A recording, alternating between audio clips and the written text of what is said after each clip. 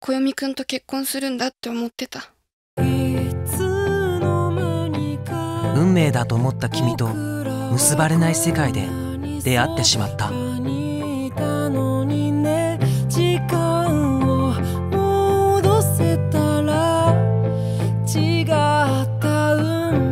誰か誰かいませんか？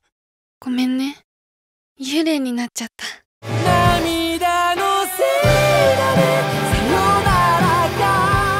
あいつは今もあの交差点にいる。誰にも気づかれないまま。ずっといるんだ。